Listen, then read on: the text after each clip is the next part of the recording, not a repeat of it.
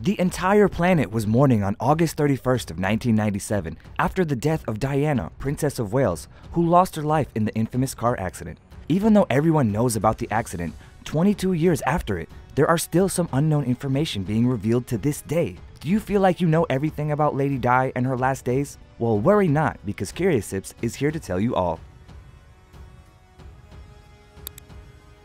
The already separated Diana was on an incredible trip with her new partner. They had the chance to go on a luxurious yacht known as the Jonikal, which had an estimated value at 20 million pounds. The luxuries of it were captured by hundreds of paparazzi who sought to make money with exclusive pictures of the couple. They finally decided that they wanted to stop at the hotel of Dodi's father, Mohammed Al Fayed, the Hotel Ritz of Paris. It was there that she was again captured by the cameraman who didn't leave their side for a single moment. To outwit the press, they escaped through the back door in a Mercedes.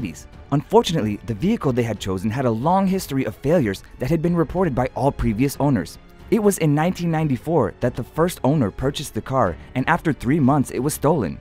Then it was found in a field near Paris's Charles de Gaulle Airport badly damaged. Later it was repaired and resold to Etoile Limousine and leased to the Ritz Hotel in Paris for the usage of VIP guests.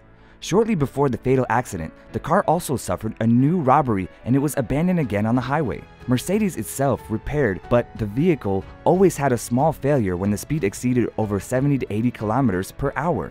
Despite this, it seems that the driver, who according to the analysis was found with a high level of alcohol in his blood, he decided to accelerate to avoid some motorcycles that did not stop taking pictures of the couple, so he entered the bridge of the tunnel, Alma, at a speed between 126 to 150 kilometers per hour. This is where a white Fiat Uno had a collision with the Mercedes. Neither the driver nor the vehicle itself were found, despite the fact that the police conducted a long investigation to try to contact those thousands of owners of this popular vehicle. All the suspicions pointed to one of the owners, photographer James Andanson. Andanson allegedly said that he was more than 170 kilometers away from the events during the moment the accident occurred, but mysteriously, he was found dead three years after being shot in the head and locked in another vehicle without the keys inside. This only fueled the theories that he was involved in the case. It seems that the real cause of death was due to the fact that both Lady Di and Dodi were not wearing safety belts, which can be fatal in the case of a serious accident. At the moment when firefighters arrived at the scene of the accident,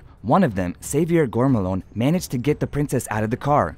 According to him, her last words were, My god, what's happened? Soon after, she went into a coma from which she never woke up again. The x-rays have revealed bleeding inside of her chest cavity, compressing her heart and right lung, which led to her death. It was then that all eyes were focused on the driver. Although the research initially focused on the level of alcohol he had, the truth is that they also discovered that he carried a large amount of cash in an envelope, which supposedly connected him to the MI6 itself, which is a service of the British intelligence, meaning that he supposedly acted under the orders of Prince Philip, the husband of Queen Elizabeth II. This, of course, only remains as a conspiracy theory, because there is no evidence to support it beyond the envelope itself. There are also many people who did not believe everything was simply an accident.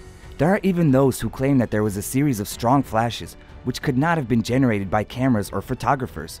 Some also talk about letters written presumably by Diana herself in which she declared to be afraid that Prince Charles could try to end her life by using a car or airplane accident. The only thing that we are sure of is on that day, the world was orphaned. Do you remember how you found out about this sad news? What were you doing in that moment? We would love to know all about your story. While finding your way down to the comments section, remember to become part of our CurioSips family by subscribing to our channel. Until next time.